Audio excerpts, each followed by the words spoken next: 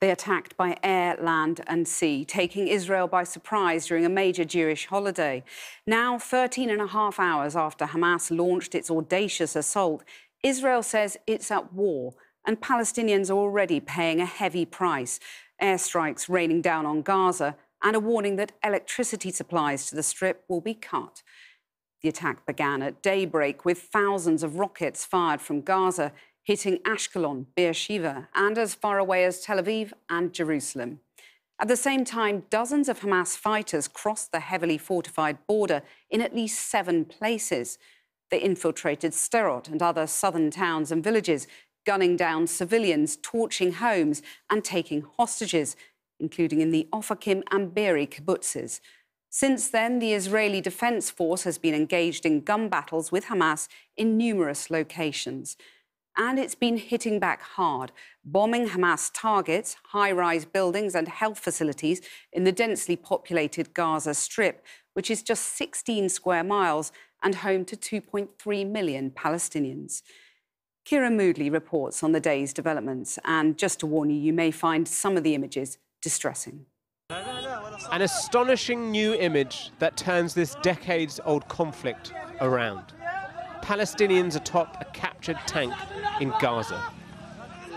A coordinated and unexpected attack, a breach in Israel's security that it appears they simply didn't see coming.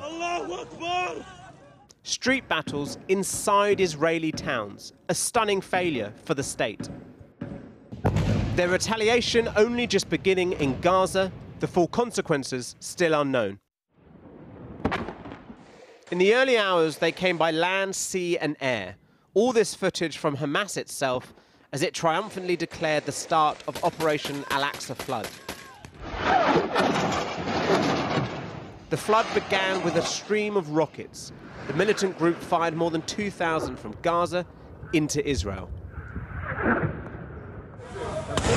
Smoke billowed in cities such as Rehovot and Ashkelon on this Saturday of Simchat Torah, Israeli security taken off guard by this attack on a Jewish holiday. At around 6 in the morning, a rocket fell near the house and everything burned. The house destroyed, the windows, the walls. We heard a massive shock. Our child was startled. I don't know. We live in a reality that is not real. We've decided enough is enough, said Hamas's military commander as they broke through the Gaza fence. This unprecedented attack was an apparent Israeli security failure akin to 50 years ago at the start of the Yom Kippur War. But that conflict was on land in Sinai and Golan. This was terror and death on Israelis' doorsteps. Militants riding through the city of Sderot as Hamas began taking control in Israel's south unprecedented large-scale incursions onto Israeli territory. One of the deadliest days in its 75-year history. With citizens told to remain inside, through the slats of their blinds, they witnessed the unimaginable. Israeli police fighting to get back inside their own station. Hours later, the Prime Minister convened his security cabinet, all eyes on a man leading the country's most right wing government who promised to put national security first, but who has instead focused on his political problems at home. Since this morning, the state of Israel has been at war. Our first objective is to clear out enemy forces that infiltrated and restore the security and quiet to the communities that have been attacked. The second objective is to exact an immense price from the enemy. The Israeli Defense Forces soon launched Operation Iron Swords, targeting Hamas militants and with heavy airstrikes on the Gaza Strip. And they released a video showing their soldiers preparing for mobilization. A military operation now on either side. Code words for all-out war, the number of dead rising throughout the day. Some in Gaza were well aware of the wrath heading their way and had already fled to shelters. Of course we are in fear. We're afraid of what they will do. The Israelis might wipe us off the face of the earth. Some did not flee, but celebrated. Since Hamas took control of the Gaza Strip 16 years ago, A blockade by the Israeli government has been described as creating a prison on this small parcel of land. Palestinians jubilantly paraded captured Israeli army vehicles, machines which had earlier been manned by soldiers, some having had their lifeless bodies dragged out. Elsewhere, Hamas claimed to have taken a number of Israeli captives, some civilian hostages, others soldiers as prisoners of war. In total, enough for them, they claim, to swap for all the Palestinian prisoners currently in Israeli jails. Over in the occupied West Bank, they chanted a bullet for a bullet and fire for fire, we have risen. It was here in places like Jenin, where Israel's military raided the refugee camp three months ago, causing widespread rioting, that many thought the tensions would boil over. Not in Gaza. Some did throw stones at Israeli soldiers, small skirmishes, but Hamas this evening said their operation may have started in Gaza, but it will expand to the West Bank. The militant group continues to release footage of their attacks. They say they are still engaged in battles in 25 locations in Israel and the Israelis continue to pummel the Gaza Strip, with Netanyahu telling US President Joe Biden that a forceful, prolonged campaign, which Israel will win, is necessary. This is just the first 12 hours. Well, earlier I spoke to Hamas spokesman Ghazi Hamad and asked about his group's attacks against Israeli citizens, which have been described as unprovoked. Look, uh, I think we as Palestinians, we are fighters for freedom, for dignity, and for prosperity. So we are fighting for, for the future of our people. It is enough for us as a Palestinian to live under under occupation for 75 years. And it is a time now for the interna- international community to understand that the source of all evils and pains and tragedy is occupation. I think we need all the international community to help, to help us to end this occupation and to give the Palestinian to establish their state. So I think all the time we are paying a price. So I'm not too afraid from Israel. Now they are now in Gaza. They are killing. They are destroying destroying buildings and towers and destroy the infrastructure, the electricity, everything they destroy. You now have a situation where Palestinian gunmen are apparently roaming the streets, killing civilians, taking people hostage, ordinary civilians hostage. There's no justification for that, is there? Look, I think all people now looking at that for the civilians of the, the, Israeli civilians, and they don't take care about the Palestinian civil. Now, today, today, this until this uh, evening, we have about 20, 100, uh, 200 people were killed in Gaza. 99% of them are civilian, children and women. And uh, in the last 10 years, more than 10,000 people uh, Palestinians were killed here in Gaza, and most of them are civilians. But, but do you make a uh, distinction the... between killing Israeli military figures and civilians? Do you make that distinction? Look, we are we abide to the Islam ethics and morals, and we we were we will never uh, thinking to, to attack the civilians. But I think it is open confrontation now. I, I think, but I think have a strong commands in order to avoid the civilians. Our our fight is with the soldiers and settlers and uh, against the occupation. This is our goal and this is our aim. But you so say you act within the laws. You say you act within the laws of Islam, but there's nothing that justifies the killing of civilians, which we've seen in the last 24 hours by Hamas and by Palestinian militants. Look, I think as we are, we are very, we are very careful. We are very, very uh, specific in this way. As I told you, we are doing very hard to avoid the civilians.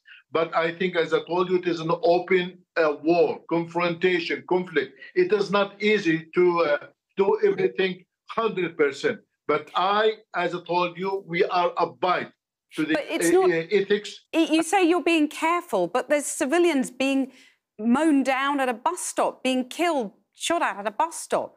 That's not careful, is it? You don't, you don't take care about the, the Palestinian civilians in Gaza Strip and West Bank who are killed every day in the, the West Bank and Jerusalem and Gaza. No one take care, take care about the Palestinians. No one take care every day that you know that since the beginning of this year, about uh, 233 Palestinians were killed in the West Bank. It's almost exactly half a century since the Yom Kippur War. Is that timing significant, symbolic to you? I think it is now today that the world should understand very well that the international community should understand they have to put in for the occupation. Second, listen that Israel should not, that are not free to do everything against the Palestinians, that as a Palestinians we have the power to stop this, to make kind of deterrence and to stop the crime of Israel. Finally, are you prepared now for a very long war? I think all that our life is suffering. It is it is suffering and suffering and suffering.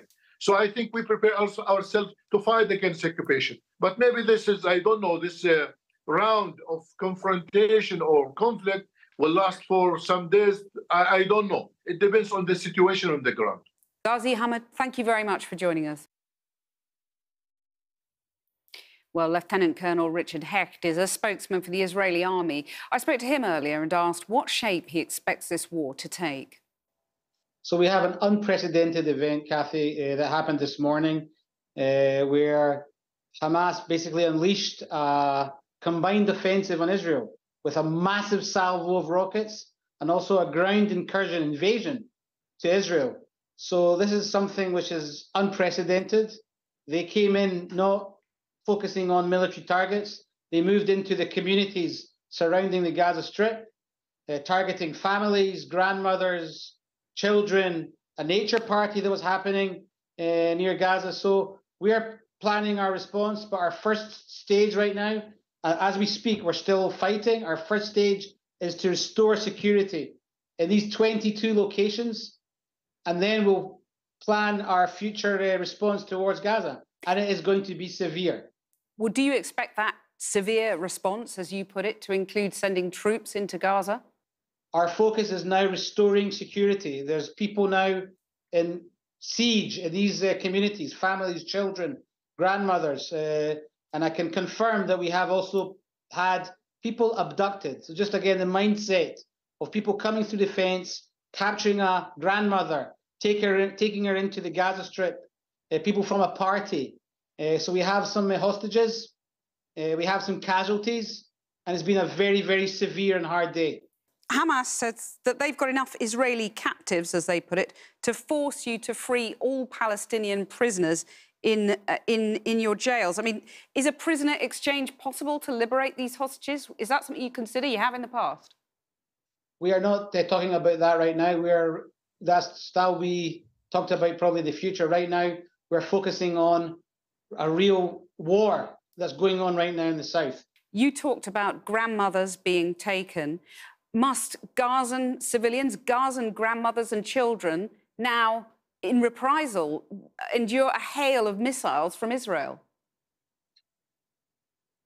Kathy, this is not the story. If, if Gaza was quiet, uh, we wouldn't have gone or uh, done what we're doing. We do not focus our uh, attacks on, uh, you know, people that are not involved, uh, on uh, civilians. We will be going after Hamas targets. They're responsible for this event. Hopefully, the collateral damage will be minimal, but we will respond severely. Well, how can the collateral damage, as you put it, be minimal when Gaza is so congested? There's so many people, more than 2 million people, living in a tiny space. You can't distinguish between civilians and military targets there, can you?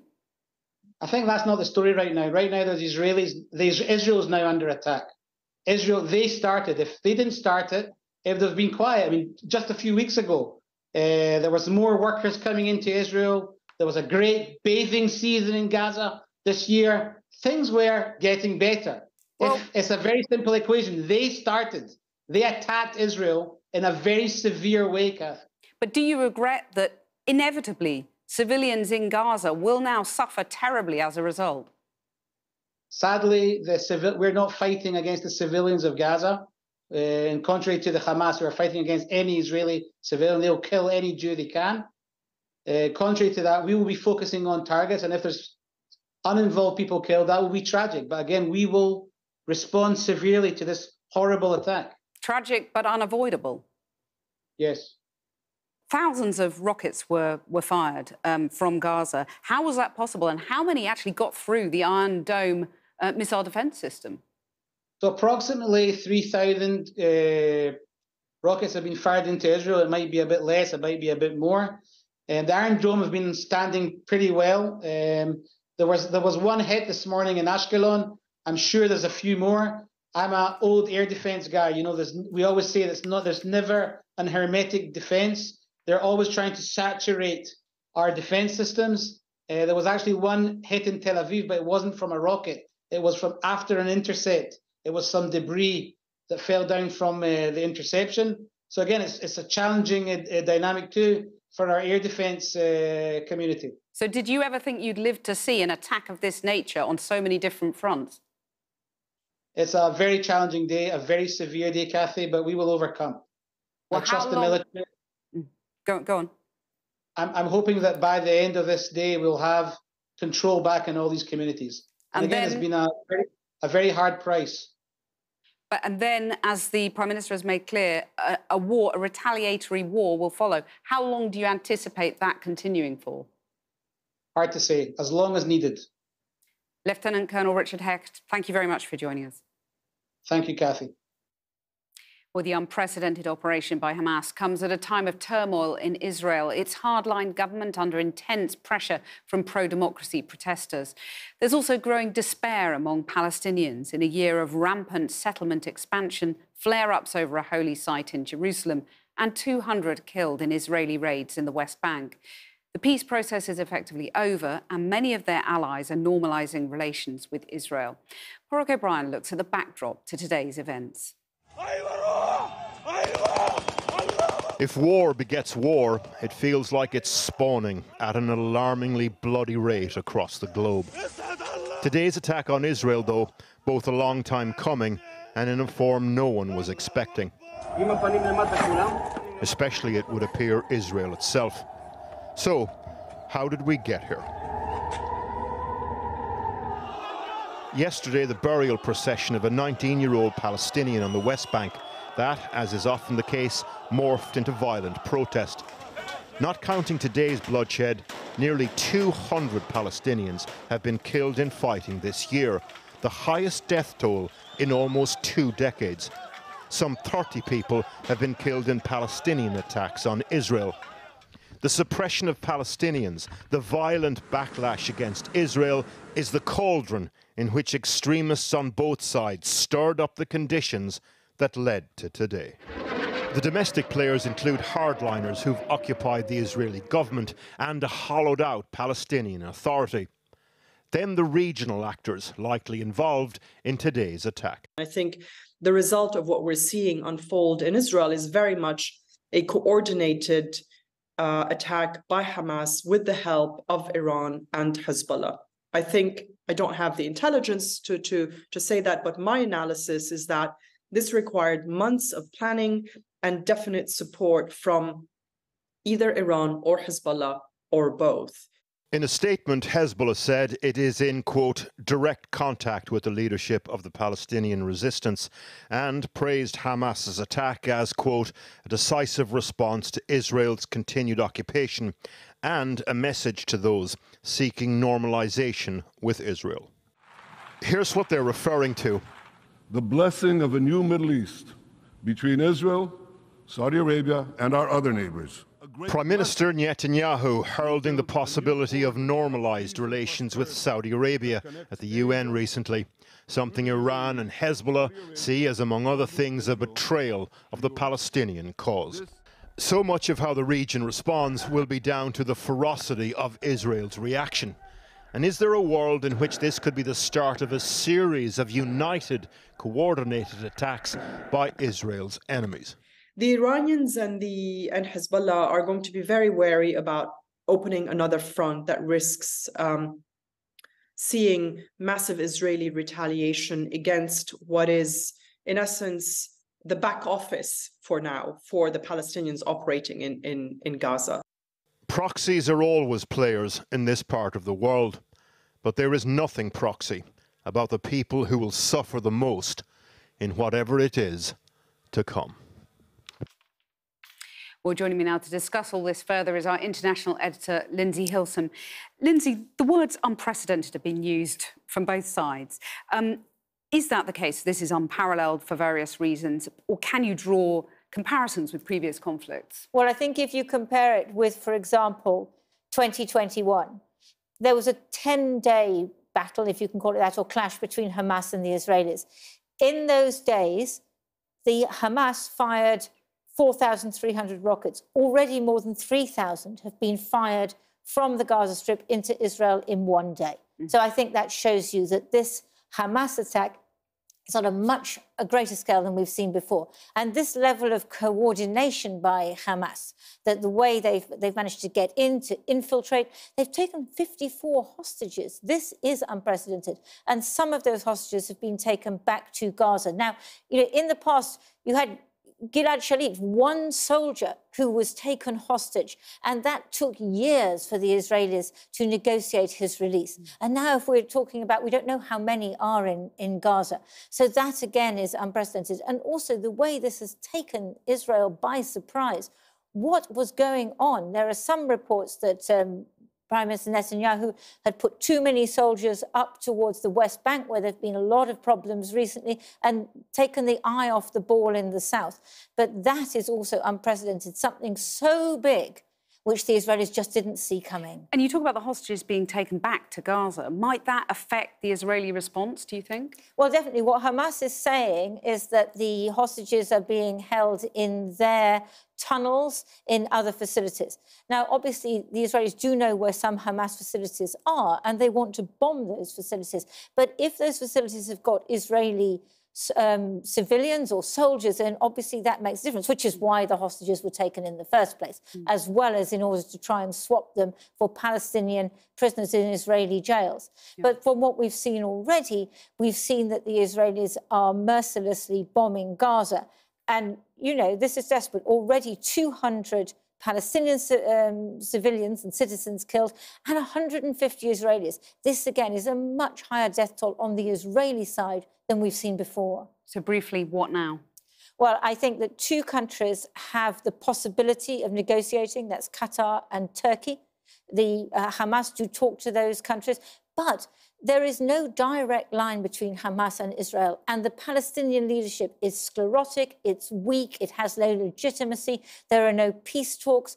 It's very hard to see how this comes to an end quickly and how such a mediation could take place in the next few days.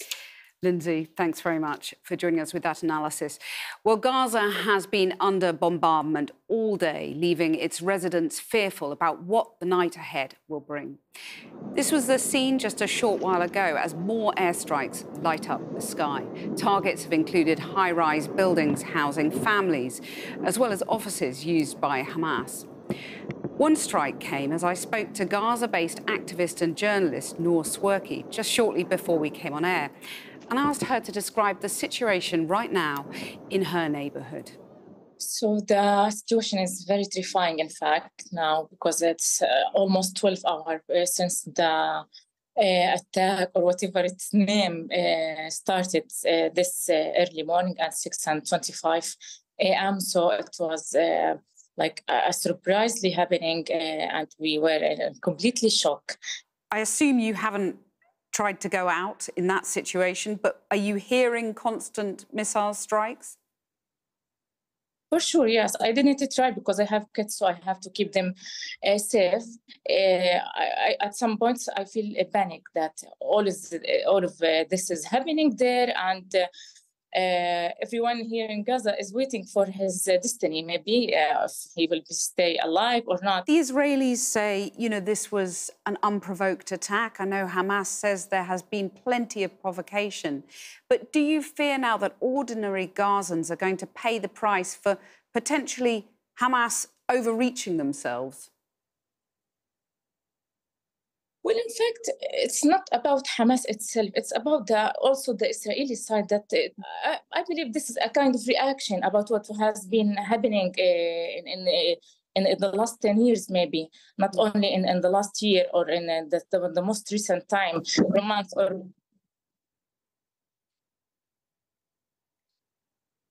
Sorry. It's okay. Was that a was that a missile strike? Yes, yes. Okay. So we can't hear it here. Now. Describe what just happened to us if you can. So it's a kind of bombing. Not sure if it's from our side or the or the Israeli side, but I believe from the sound, it's an Israeli airstrike mm. for some uh, place, maybe or a building or whatever. We will wait for the news to know where. Yeah. Because uh, you were very all the way through this interview, you've been very calm and you know very composed, and when you paused there, I could see the the terror in your face. Yeah, it's a terrifying, a terrifying situation, not only for me, it's for any human being. Yeah, to be under uh, under fire.